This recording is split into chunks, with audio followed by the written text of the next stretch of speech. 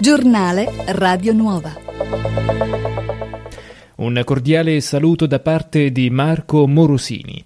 Istituiti dall'ufficio scolastico regionale altri 1600 posti aggiuntivi da coprire con personale scolastico a tempo determinato per rispondere all'esigenza di consentire l'avvio in sicurezza dell'anno scolastico in base alle disposizioni sulla prevenzione del contagio da coronavirus.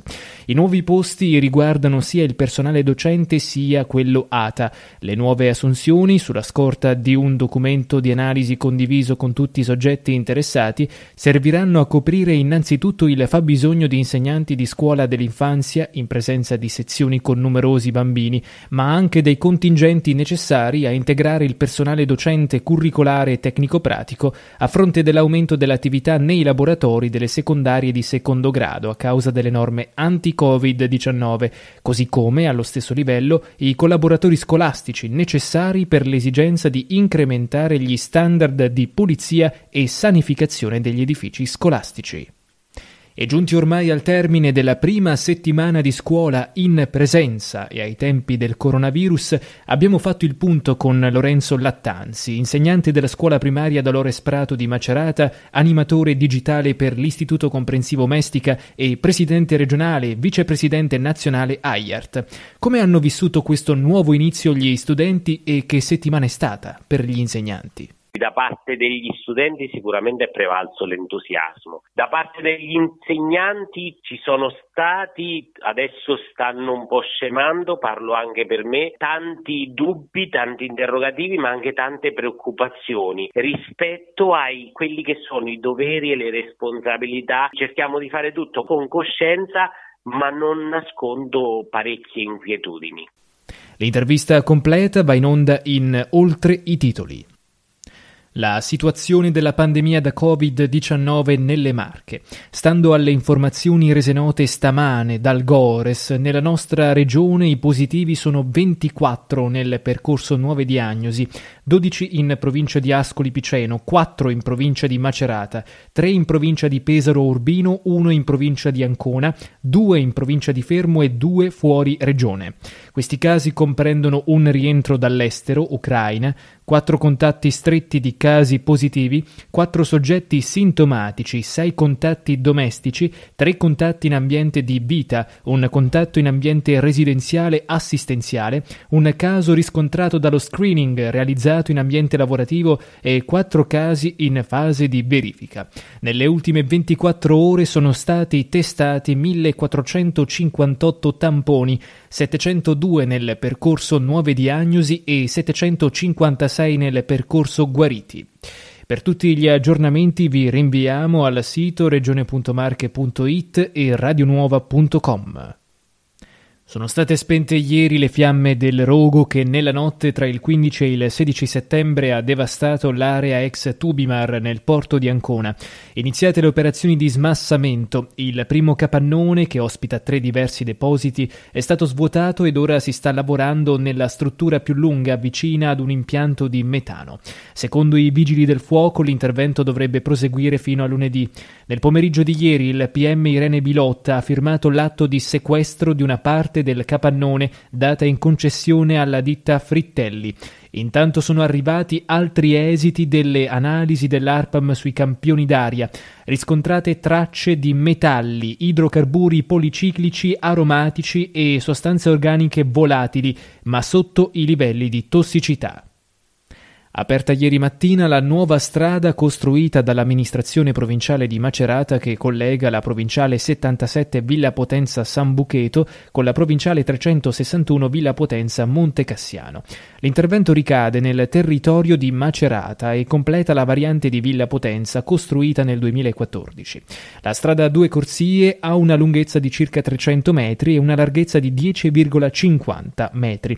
Il progetto ha un valore complessivo di 800.000 euro futuro e comprende anche la realizzazione della rotatoria, illuminata di notte, costruita sempre dalla provincia di Macerata sulla provinciale 361. La nuova strada è importante per tutta questa zona del Potenza, poiché qui confluiscono cinque provinciali, alcune collegate anche con la provincia di Ancona, creando con gli ingorghi un problema di inquinamento, sicurezza e vivibilità per chi ci abita. Negli orari di punta sulla provinciale 361 transitano circa 6.600 automezzi al giorno, di cui il 75% diretto a Macerata. Questa bretella permetterà di alleggerire la circolazione a Borgo Pertinace di Villa Potenza. Di fatto escluderà la frazione da tutta la viabilità proveniente da Macerata e diretta a Monte Cassiano, Montefano e Osimo e viceversa. Avviamento alla musica e all'arte, attività all'aperto negli spazi verdi comunali, dei nidi e delle scuole d'infanzia per i bambini e ragazzi da 0 a 19 anni. Sono i contenuti del progetto Sostare del comune di Macerata, selezionato dal Dipartimento delle Politiche della Famiglia nell'ambito del bando Educare, volto a potenziare le iniziative a favore dei giovani e dell'infanzia dopo il lockdown. Il progetto, in partnership con Risorse Cooperativa Sociale ETS e l'associazione Utremi Onlus, potrà così beneficiare di un finanziamento di 150.000 euro per promuovere iniziative sul territorio nell'arco di sei mesi. Il progetto Sostare si muove sulla linea di azioni dirette all'inclusione sociale, al contrasto della povertà educativa minorile, alla tutela dell'ambiente e alla promozione di stili di vita sani. Si tornerà a lavorare nel cantiere per la realizzazione del nuovo Istituto Tecnico Tecnologico Statale Eustachio Divini di San Severino Marche.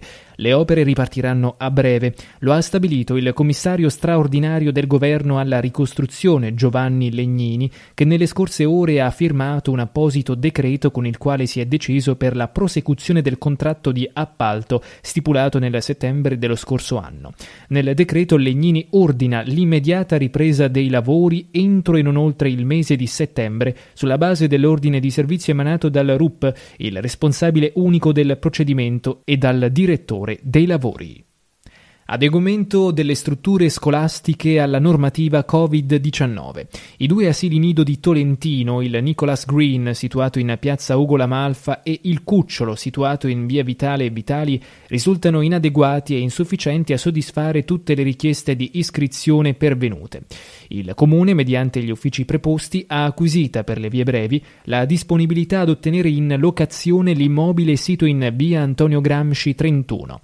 Il costo per l'adeguamento prevede una spesa massima di 40.000 euro e la spesa mensile per l'affitto è fissata a 1.500 euro al mese. Si prevede di terminare i lavori di adeguamento da parte della proprietà entro le prime settimane di ottobre. Restiamo a Tolentino. Elezioni. Sono 14.525 gli aventi diritto al voto per il referendum, mentre sono 17.738 gli elettori che potranno prendere parte alle elezioni regionali. L'elettore più giovane è Paolo Vagni, nato il 12 settembre 2002, mentre l'elettrice più giovane è Giada Colizzi, nata il 20 settembre 2002, che proprio domenica compirà 18 anni. L'elettore più anziano, con 101 anni, è Ezio Paolucci, nato l'8 febbraio 1919, mentre l'elettrice più anziana è Pierina Salvucci, nata il 21 febbraio del 1914 e che con i suoi 106 anni è la nonnina della città di Tolentino. Con il concerto di Bruno Risas e Neri Marco Re, tenutosi martedì scorso a Caldarola in una piazza Vittorio Emanuele II che mostra ancora le drammatiche ferite del sisma, si è conclusa la quarta edizione di Risorgi Marche, un'edizione particolare condizionata dalle restrizioni per il contenimento del Covid-19, ma che ha visto la partecipazione di oltre 5.000 spettatori in occasione dei 20 concerti proposti tra luglio e settembre. Siamo riusciti a raggiungere i tanti obiettivi che ci eravamo posti in questa anomala estate, commenta il direttore Giambattista Tofoni. Importante, anche se fisicamente impossibilitato a partecipare, il contributo di Neri Marco Re, ideatore del festival. Neri, come ognuno di noi sottolinea Tofoni, era e resta convinto che la cultura sia un mattone fondamentale per la ricostruzione morale delle comunità marchigiane colpite dal terremoto. Tutti gli incassi dei biglietti, 20.000 euro totali, sono stati devoluti ai comuni ospitanti. Significativo anche il contributo di Risorgimarche all'Anfas Sibillini Onlus, a cui è stato devoluto tutto l'incasso del merchandising per il progetto La Casa nel Cuore. Lo sport. Diaga Dieng, classe 1999, ragazzo dei record. Il marchigiano è ora il migliore al mondo. Ha corso gli 800 metri in 1 minuto 51 secondi e 68. Il mezzofondista della nazionale FISDIR, Federazione Italiana Sport Paralimpici degli Intellettivo Relazionali, che rappresenta l'Antropos di Civitanova Marche e l'Atletica Avis Macerata, ha ottenuto questo risultato clamoroso nel corso dei campionati italiani juniores e promesse Fidal, in svolgimento allo stadio Carlo Zecchini di Grosseto, nello specifico nella seconda batteria promesse.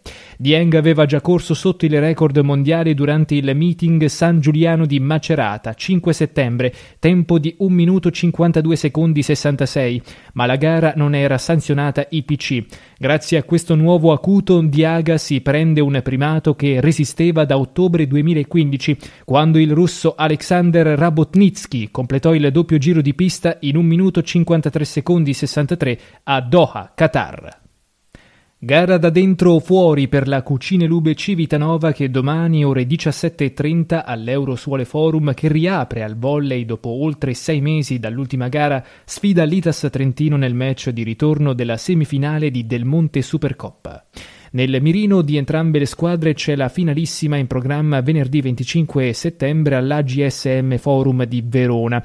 Per agguantare il pass, gli uomini di De Giorgi, sconfitti 3-2 nel match di andata giocato a Trento, dovranno vincere per 3-0 o 3-1, mentre un successo per 3-2 prolungherebbe la sfida al Golden Set. I trentini si qualificherebbero invece vincendo con qualsiasi risultato. La Cucine Lube ha finora sempre sconfitto Trento nella sua storia all'Eurosuole Forum. Puntiamo a vincere, ovviamente, per cercare il passaggio del turno verso la finalissima, riferisce Osmani Juantorena. Sarà una gara tiratissima, così come è già stata a Trento. I nostri avversari hanno dimostrato di essere una grande squadra. Il tempo nelle Marche. Previsioni per domenica 20 settembre. Sulla nostra regione cielo inizialmente sereno con aumento delle nubi medio-alte nel pomeriggio ed addensamenti cumuliformi sui rilievi. Possibilità di isolati rovesci o temporali nelle ore più calde della giornata sulle vette appenniniche. Dalla serata possibilità di deboli piovaschi nel settore meridionale della regione. Temperature senza variazioni di rilievo, venti di brezza attesa inizialmente settentrionali in rotazione dal tardo pomeriggio da sud-est lungo la costa e sud-ovest nelle zone interne, mare poco mosso. Ed è tutto per questa edizione del giornale radio da parte di Marco Morosini, grazie per la cortese attenzione e buon proseguimento con i nostri programmi. Giornale Radio Nuova.